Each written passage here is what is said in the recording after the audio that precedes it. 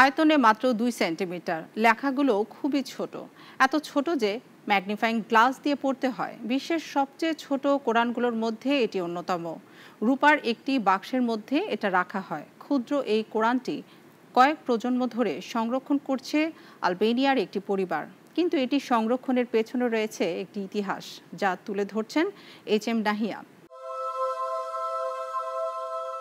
মুসলমানদের প্রধান ধর্মীয় গ্রন্থ পবিত্র কোরআন, যা মানবজাতির কল্যাণ ও মুক্তির দিশারি বা পথ প্রদর্শক। এটি বিশ্ব মানবতার মুক্তিদূত, মহানবী হজরত মোহাম্মদ সাল্লাহু আলহিসাল্লামের প্রতি আল্লাহ তালা জিব্রাইল আলহিসাল্লাম ফেরিস্তার মাধ্যমে সুদীর্ঘ তেইশ বছরে অবতীর্ণ করেন। এবার বিশ্বের সবচেয়ে ছোট কোরআন শরীফের সন্ধান পাওয়া গেছে। যেটি আয়তনে মাত্র দুই সেন্টিমিটার। লেখাগুলো এত ছোট যে ম্যাগনিফাইং গ্লাস দিয়ে পড়তে হয়। ক্ষুদ্র এই কোরআনটি কয়েক প্রজন্ম ধরে সংরক্ষণ করছে ইউরোপের দেশ আলবেনিয়ার একটি পরিবার। কোরআনটি একশো বছরের পূর্ণ বলে জানিয়েছেন এক গবেষক। তিনি বলেন, এটা প্রকাশের সময় উনিশ শতকের শেষ দিকে। বর্তমানে এই কোরআনটি সংরক্ষিত আছে মারিও প্রসি নামের এক ব্যক্তির কাছে। আলবেনিয়ার তিরানা শহরে বসবাস করেন মারিও। সেখানে বার্তা সংস্থা এপির সঙ্গে ছোট্ট এই কোরআনটি নিয়ে তিনি বিস্তারিত আলোচনা করেছেন। তিনি বলেছেন, অত্যন্ত নিষ্ঠার সঙ্গে আমরা প্রজন্ম থেকে প্রজন্ম এটি সংরক্ষণ করেছি। একশো বছরের পুরানো এই কোরআনটি তৈরির পর আলবেনিয়ায় সংঘটিত হয়েছে যুদ্ধ। বেশ কয়েকবার পরিবর্তন হয়েছে শাসকের। তবে এত সব কিছুর পরও এটি এখনও অক্ষত আছে। ইসলামিক ব্যক্তিত্বদের ধারণা বিশ্বের সবচেয়ে ছোট কোরআনগুলোর মধ্যে এটি অন্যতম। কোরআনটি রূপার একটি বাক্সের মধ্যে রয়েছে, তবে সময় গড়ানোর সঙ্গে রূপার রঙও কালো হয়ে গেছে। তিরানা বিশ্ববিদ্যালয়ের কোরআন শিক্ষার গবেষক এলটন কারাজ নামের এক কোরআন বিশেষজ্ঞ জানিয়েছেন, লেখার ধরন দেখে বোঝা যায় এটি উনিশ শতকের শেষ দিকে তৈরি করা হয়েছিল। এই কোরআনটি খুবই ছোট ফরম্যাটে প্রিন্ট করা হয়েছিল। এটি একটি অসাধারণ কাজ এবং খুবই মূল্যবান। তবে এই কোরআনটির সঙ্গে জড়িয়ে আছে একটি বিস্ময়কর ইতিহাস।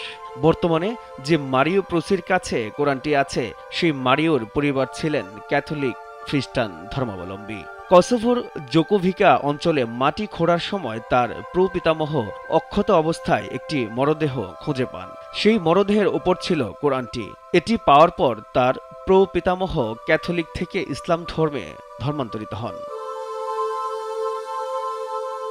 মারিও প্রুসির দাদা উনিশশো সালের দিকে আলবেনিয়ার রাজা ঝোগের সেনাবাহিনীতে কাজ করেছেন। সেই সুবাদে তিনি আরবি পড়তে পারতেন। তিনি প্রতি রাতে বন্ধুদের ডেকে কোরআনটি থেকে বিভিন্ন আয়াত পাঠ করতেন।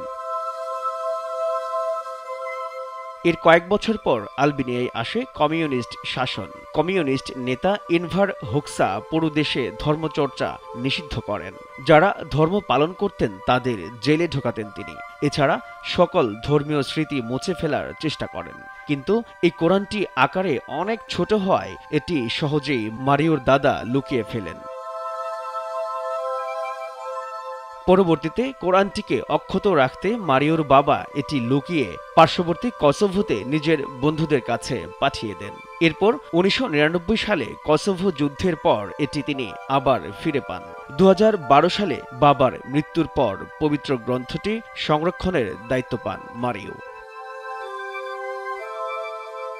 ছোট ও দেখতে অন্যরকম হওয়ায় অনেকে এটি মারিওর কাছ থেকে কিনতে চেয়েছেন। এছাড়া জাদুঘরের পক্ষ থেকে যোগাযোগ করা হয়েছিল।